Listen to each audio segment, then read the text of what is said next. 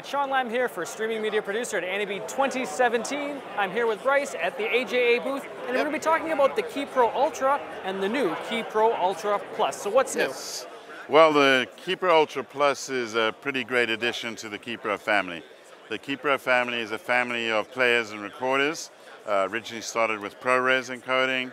Uh, the Ki Pro Ultras are today capable of doing ProRes uh, as well as uh, Avid DNxHD uh, MXF, uh, which is the native file format.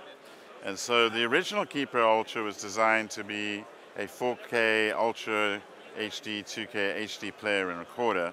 Uh, and the Plus, of course, continues that.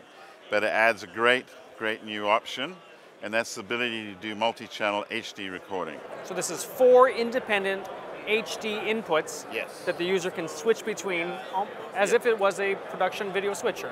Well, no, you can record all four at once. Okay. So you you basically can plug in uh, four separate cameras. Uh, it can be 1920 or, or uh, by 1080, or uh, 720, which is fairly popular for Fox, for instance. Um, but it's they just need to be the same raster size and frame rate. Uh, and then you're recording four separate ProRes files, one for each camera. So you could go that route, which means you literally are plugging three, four cameras in that you have. You can go one, two, four. Uh, or you could say, okay, I've got a single camera, but I want different file compressions. Okay. So what we, you know, different profiles.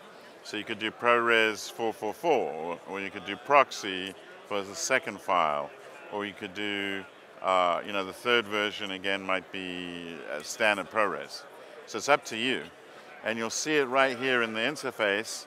We got the uh, GUI or the GUI, and on the screen, all four are coming in at once. We're feeding this four different sources. Um, when you set up your original configuration, uh, obviously if you're in the original Ki Pro Ultra, you'll be seeing a single channel only. Here you have the ability to come to multi-channel you could tell it exactly how many channels you want because if you're only plugged into two cameras, no point in wasting the hard drive space. Well, it's not hard drive because it's SSDs. Um, doing four channels here. As you can see within the interface, this is literally being fed off of the Ki Pro Ultra. So that's another secret about these wonderful devices is that we have full-blown Linux-based operating systems with a web server. So this is feeding you the live feed that you're seeing up on the screen. Uh, when I come to status here, I can see, well, I had sent it to 9020 by 1080, in fact, all the way up to 5994. That's pretty stunning. You know, you're talking fairly high frame rate here on all these channels. How does it connect to the laptop? So to connect to the laptop, you literally plug in an Ethernet cable.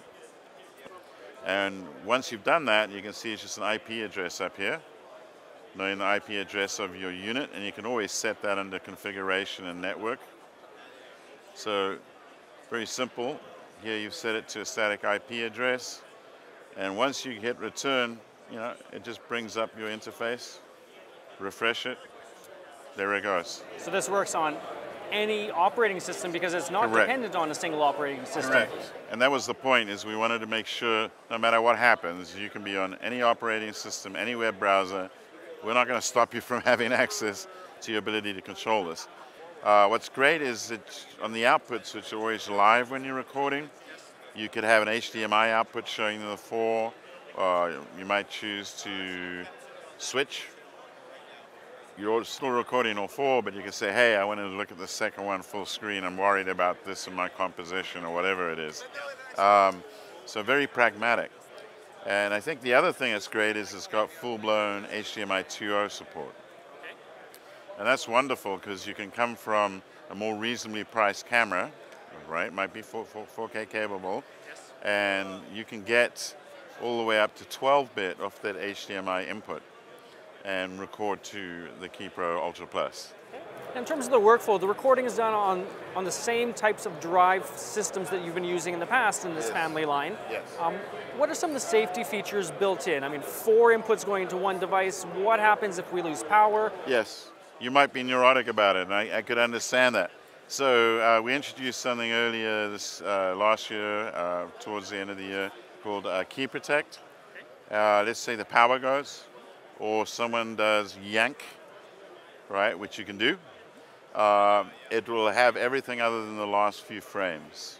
So as it goes, the header files are being rewritten it's to ensure that if all goes to crap, as they say in uh, English, yes. then you will actually recover.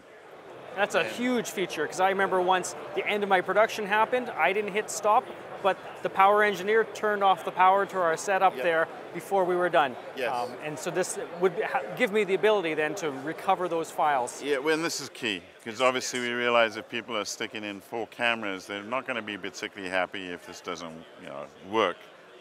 Power goes out. You're living in a country with a power cycle.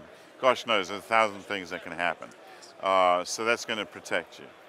And I, and I think the addition of having XQ support in this process as well, which is just beautiful if you're doing green screens. You know, for a lot of folks that are going to do streaming projects and so on, the ability to shoot against green screen and know you're going to get a really nice green screen out of it once you edit and throw the project out is key.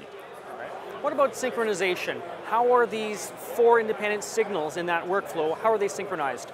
So the way it works is you want to be plugged into the first SDI port first, and then add.